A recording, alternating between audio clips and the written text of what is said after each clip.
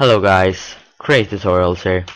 Um, before I start this tutorial, I just want to thank you for the wonderful uh, support I've gotten in the uh, in a few days. And today I'm gonna be showing you how to do like this effect, like the motion track and the like thingy but this is how it will go. I'm not going to make like a depth of field tutorial on this effect. I'm sorry but uh, like if if you guys don't know what motion tracking is or you don't you, you can't you can't do it uh, click on the click uh, here to see um my newest or my 3D motion tracking tutorial um, and then to make this wait to make this thing I have a tutorial on that too how to make this too. I will I will link all the tutorials in the description basically. So I'm sorry I can't do a depth of field. I, I would sit here in like three hours if I would do every single thing I did in this but yeah guys I, I will give you a template to this um, because I love you guys and you have getting me a huge support this few days as I said in the beginning. But um, yeah so let's go into the folder. Okay so this is what you'll get in your folder. Um, I, I will uh, you will have like three folders because like this folder is uh, one gigabyte long uh, long one gigabyte big 1.2 you see. Um, and I can't upload that so I'll just split this up in three different parts so you have to download all of them. And uh, basically what you want to do is just here's the template or here's the template template just double click there to open it up. And I should have opened this. No whatever. And when you get this you should get this. Like um, yeah no background or anything just the text and everything.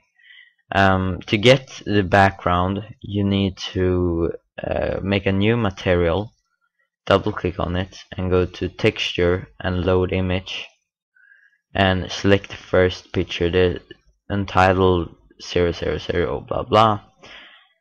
And then uh, you want to click on this thing and animation and set the movie and the frame to 221 and click calculate okay?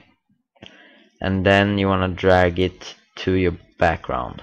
So now if we scroll through it's the whole like scene whatever. So that's what you're going to do basically. Um now uh, you won't get these textures and nice things as I have here. Um, to basically uh, I must stop saying um all the time but whatever. So to change your colors or like to get the materials that I have here you want to go to file and go to load and materials and you want to go into the folder uh, and click the materials and click open and you should have all these materials. Um, so look what we have here uh, yeah we have the top null. It's basically the yeah the motion track thingy uh, the background and the text the next OC text and basically what I have here is like two text so it's inside and outside like as you see. So to change the text you wanna control click on both of them. And then you can change the text whatever you want tutorial whatever. Like that. I have now you will have this. So constant contest entry change that to whatever 10 bikes, I don't know. Uh, and then the last text whatever you want like yeah so change around this however you want. Uh, yeah so how I made this, um like yeah spline uh, things the 3d splines uh, I just uh, if you checked out click click the screen now to see a tutorial me doing uh, like how how make how you can make this and then come back to this tutorial. Uh, all I did was uh, just control uh, C control V to copy and paste and then I just take took the uh, this tool thingy and then you just move it basically. Really easy. So now you have four of them if you want that. Um yeah there's nothing much to say. I just want to thank you all guys once again for the wonderful support. Uh, keep please keep doing this um, it helps me a lot and it's motivating me to continue doing tutorials for you guys. I hope you I hope you are going to enjoy this template.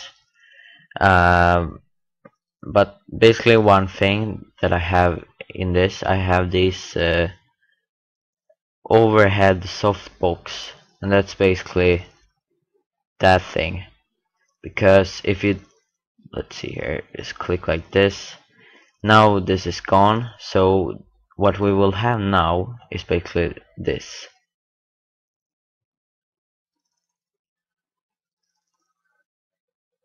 See it looks much better with the the softbox but of course you might you might cannot see any difference but yeah it it really do I think. It takes much longer time to render also uh, but yeah guys uh, I hope you enjoy this quick uh, little like, like uh, walkthrough of this template. Uh, do whatever you want with this but please give me credit in this description if you could do that. Okay guys I forgot one thing. Um, when you have render out uh, this template um, like just going to the save and you want to save it to whatever you want an AVI movie and you just click save whatever. Um, what what I did after that uh, I just dragged it in to After Effects or Sony Vegas doesn't matter. I dragged it to a new comp and you see here's the template. Um, and basically I it looks like this in my preview. Like that. Looks pretty much cooler. So what I did is just new uh, make a new adjustment layer and just search up looks for magical looks. Just click edit. Uh, wait this to load up okay so then I just took